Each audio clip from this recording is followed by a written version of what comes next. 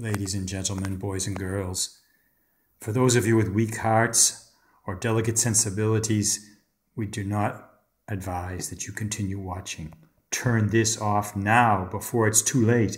We are going to look at the dreaded AEM vibration board as it communicates via these long, unreliable wires to a Raspberry Pi 3 which is communicating with my PC on VNC Viewer via Wi-Fi, and the AEM board is communicating by this terrifying little dongle to the computer itself.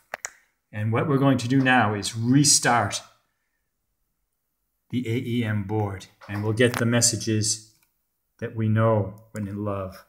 It's starting up. And once it starts starting up, we start the master and we see the queue is at five elements. It's going to hold there, I hope. And we see the master reading in data.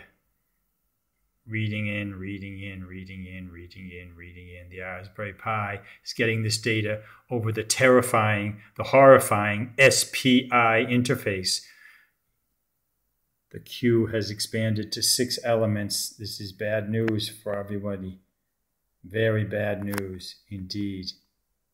Uh, you can see six elements.